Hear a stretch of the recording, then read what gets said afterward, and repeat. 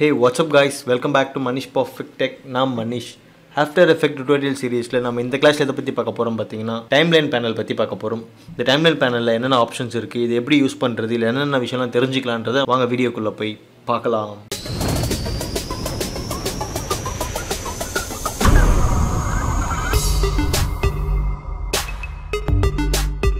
Timeline panel so இந்த panel வந்து பார்த்தீங்கன்னா சப்போஸ் ஏதாவது நீங்கள் க்ளோஸ் பண்ணிட்டீங்க உங்ககிட்ட தெரியாமல் இல்லைன்னா விண்டோஸில் போயிட்டு இந்த டைம் லைன் இருக்கும். இதை கிளிக் பண்ணிங்கனாலே உங்களுக்கு இந்த பேனல் வந்து வந்துடும் ஸோ இந்த மாதிரி ஒரு வேலை இருந்ததுன்னா டைம் லைன் கொடுத்தீங்கன்னா இந்த மாதிரி வந்துடும் ஓகேங்களா கன்ஃபியூஸ் ஆகாதீங்க. நான் உங்களுக்காக வச்சு டெமோ தான் காட்டினேன். ஓகேங்களா ஸோ இப்போ இந்த பேனல் வந்து எதுக்குன்னு பார்த்தீங்கன்னா இந்த பேனல் மூலியமாக தான் நம்ம வந்து பார்த்தீங்கன்னா நம்ம வந்து ஃபுல்லாக ஒர்க் பண்ண போகிறோம் எடிட் பண்ணுறதாகட்டும் இல்லைனா வந்து எஃபெக்ட்ஸ் ஆட் பண்ணுறதாகட்டும் இல்லை லேயர்ஸ் எல்லாமே இது கோல் இதில் தான் நம்ம வந்து ஆட் பண்ண போகிறோம் ஓகேங்களா நம்ம கடைசி கிளாஸில் வந்து பார்த்தீங்கன்னா ப்ராஜெக்ட் விண்டோ பற்றி பார்த்துருப்போம். சப்போஸ் அதை பார்க்காதவங்க கீழே டிஸ்கிரிப்ஷன் லிங்க் கொடுத்துருக்கேன் அதை பற்றி தெரிஞ்சுக்கோங்க. ஓகேங்களா ஸோ இப்போ முதல்ல டைம் லைன் பேனல் ஸோ இந்த டைம் லைன் பேனல் ஒர்க் பண்ணணும்னா முதல்ல நம்ம என்ன பண்ணணும்னா காம்போசிஷன் கிரியேட் பண்ணணும்.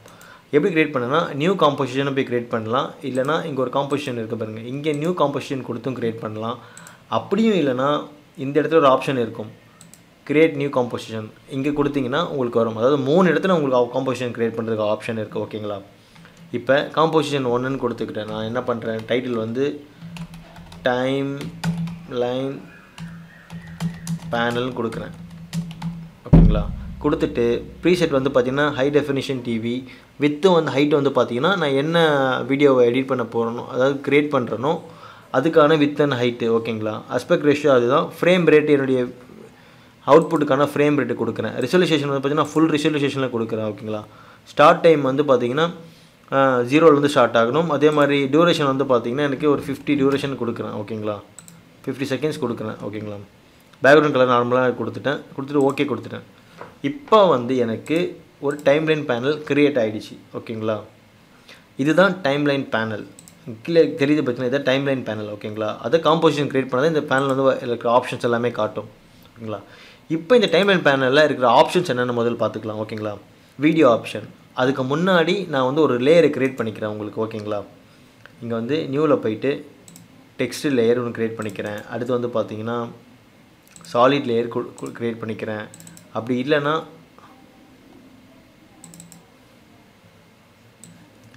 இந்த மாதிரி ஒரு இது இமேஜ் எடுத்து போட்டுக்கிறேன். ஓகேங்களா இப்போ பார்த்தீங்கன்னா முதல்ல பார்த்தீங்கன்னா அந்த ஹைன்னு ஆப்ஷன் இருக்குது பார்த்தீங்களா இந்த ஹை ஆப்ஷன் எதுக்குன்னு பார்த்தீங்கன்னா ஹைட் பண்ணுறதுக்கு இப்போ நீங்கள் இந்த டார்க் சாலிட் லேயரை ஹைட் பண்ணிட்டோம்னா நம்மளுக்கு வந்து பார்த்தீங்கன்னா பேக்கில் இருக்கிற இந்த ஃபோட்டோ வந்துடும். ஓகேங்களா? அதுக்கப்புறம் வந்து பார்த்திங்கன்னா எம்டி லேயர் ஒன்று க்ரியேட் பண்ணியிருக்கோம். டெக்ஸ்ட் லேயர் இந்த டெக்ஸ்ட் லேயர் எதுக்கு பார்த்தீங்கன்னா நம்ம வந்து டைட்டில் ஆட் பண்ணுறதுக்காக ஓகேங்களா? மனிஷ் பர்ஃபெக்ட் டெக்குன்னு கொடுத்துக்கிறேன் பார்த்தீங்கன்னா தெரிஞ்சிருக்கும் உங்களுக்கு?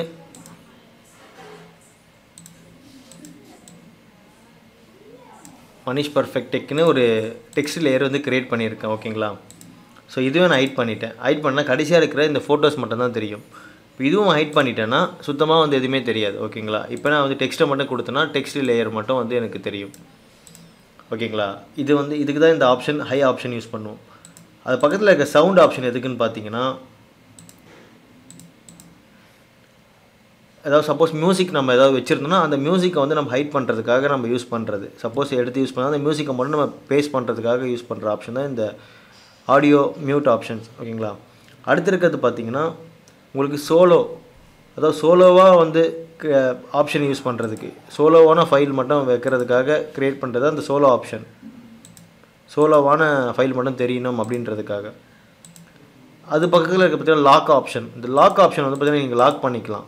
லாக் பண்ணால் நீங்கள் மூவ் பண்ண வேண்டிய மூவ் பண்ண முடியாது. ஃபைல் எந்த ஃபைலுமே டேட்டா நீங்கள் மூவ் பண்ண முடியாது. எந்த எடிட்டும் பண்ண முடியாது. இதுக்காக இந்த லாக் ஆப்ஷன் யூஸ் பண்ணுறோம் ஓகேங்களா அடுத்து வந்து பார்த்திங்கன்னா லேபிள் இந்த லேபிள் வந்து பார்த்திங்கன்னா நம்ம என்ன லேபிள்னா க்ரியேட் பண்ணிக்கலாம். ஒவ்வொரு இதுக்குமே நம்ம ஒவ்வொரு கலரான லேபிளை வந்து க்ரியேட் பண்ணிங்கன்னா உங்களுக்கு வந்து ஒரு தெரியும். ஓகே இந்த இந்த இதுக்கு இந்த லேபிள் இந்த கலருக்கு இந்த லேபிள் இதுக்கு இந்த லேபிள் அப்படின்னா லேபிள் மாதிரி நீங்கள் க்ரியேட் பண்ணிக்கிங்கன்னா உங்களுக்கு ஒர்க் பண்ணுறதுக்கு ஈஸியாக இருக்கும். ஓகேங்களா அதே மாதிரி இங்கே வந்து சோர்ஸ் நேம் இந்த சோர்ஸ் நேம் என்னென்னு பார்த்தீங்கன்னா நீங்கள் எந்த ஒரு லேயரை யூஸ் பண்ணுறீங்களோ அதோட நேம் வந்து நீங்கள் சேஞ்ச் பண்ணிக்கலாம். ரீநேம் கொடுத்தீங்கன்னா உங்களுக்கு அதோட கலர்ஸ் நீங்கள் ஒர்க் பண்ணுறதுக்கு ஈஸியாக இருக்கிற மாதிரி உங்களுக்கு ஒரு க சாலிடு மனிஷ் அப்படின்னு கொடுக்குறேன். கொடுத்தோம்னா சாலிடான ஒரு லேயர் வந்து இருக்குது அப்படின்றது நேம் இங்கே என்ன ஒரு ஃபோட்டோஸ் இருக்குன்னா மாஸ்டர் மாஸ்டர் ஃபோட்டோஸ் அப்படின்னு கொடுத்தோன்னா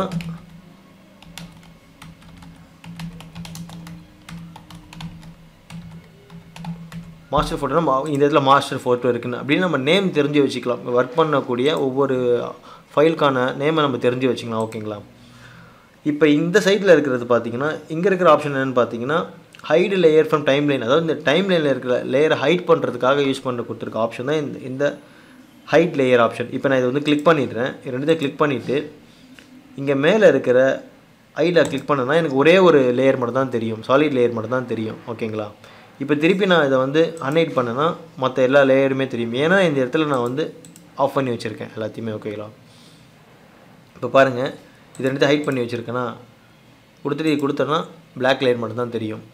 திருப்பி இதை அன்ஹைட் பண்ணனா மற்ற லேயர் எல்லாமே தெரிஞ்சிடும் ஓகேங்களா அப்புறம் இருக்கிறது இங்கெல்லாம் பார்த்தீங்கன்னா எஃபெக்ட்ஸ் இந்த எஃபெக்ட்ஸ்லாம் வந்து என்னென்னு பார்த்தீங்கன்னா இங்கே மேலே கொடுத்துருக்காங்க பாருங்கள் இதுதான் இந்த காம்போசிஷன் பேனலில் இருக்கிற மினி ஃப்ளோட் சார்ட்னு எஃபெக்ட் ஒவ்வொரு எஃபெக்ட் இதை பற்றி நான் ஒன்று சொல்கிறேன் பாருங்கள் முதல்ல இருந்து பார்த்தீங்கன்னா காம்போசிஷன் ஃப்ளோ சார்ட் ஃப்ளோ சார்ட்ன்றது நம்ம வந்து எடிட்டிங்கில் பார்த்துருப்போம் வந்து ஒவ்வொரு காம்போசிஷனுக்குமே ஒவ்வொரு ஃப்ளோ சார்ட்ஸ் வச்சுருப்பாங்க ஓகேங்களா?